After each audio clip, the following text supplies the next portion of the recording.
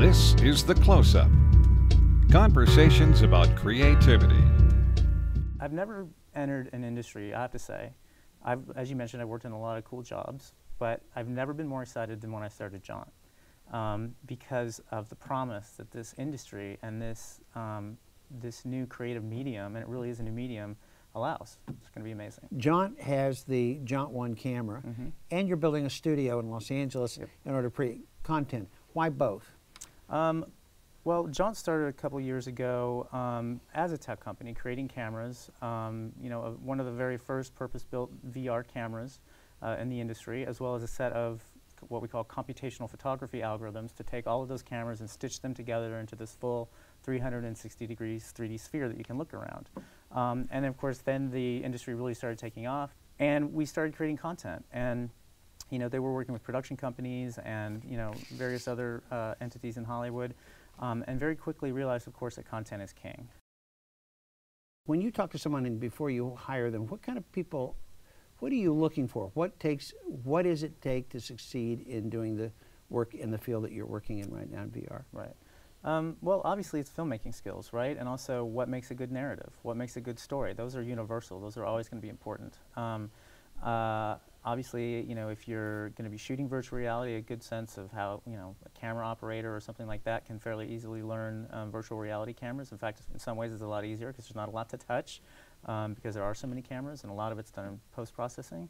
Um, visual effects industry, uh, all of those, you know, lighters, compositors, and uh, rotomation, and all of that stuff, animation, and all the same techniques that we've used on all those movies that you mentioned that I worked on, um, are the same techniques um, for virtual reality. It's just learning to work in a spherical 360 3D environment. Uh, you're associated with the term language of cinematic, cinematic VR. What, what is that? Well, we don't know. That's the we are evolving that as we speak, right? There's the cinematic language, which is what I was, you know, referring to earlier in terms of, um, you know, over-the-shoulder shots, close-ups, coverage, clean shots. All of these things, this terminology, you know, that we could talk to any of the film crew here, and they would know immediately what I'm talking about.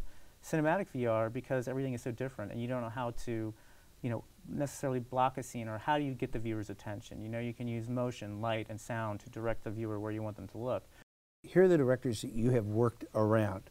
Martin Scorsese for The Aviator, Lord of the Rings, Peter Jackson, Titanic, James Cameron, Men in Black, Barry Sonnenfeld.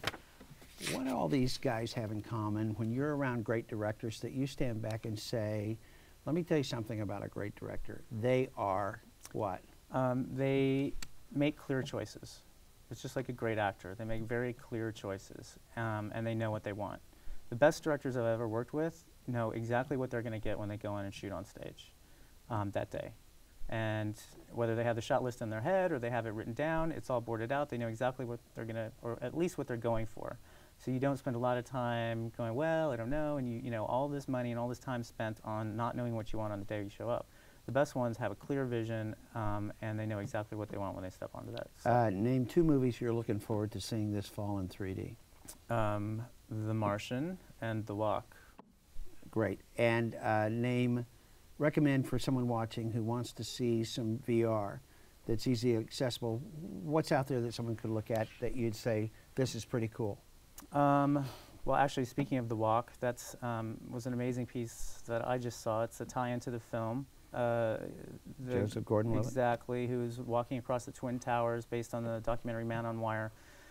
Um, and it, you, it literally puts you up on the corner of the Twin Towers, um, and they put a rope under your feet, so you feel a rope under your feet. You put the VR goggles on, and you have to s- take a step out onto that wire in virtual reality, and it is terrifying. It is the most terrifying thing, one of the most terrifying things I've ever seen, much less in VR. Um, and of course, we have a bunch of cool content in our app. Um, you mentioned Paul McCartney, we have that.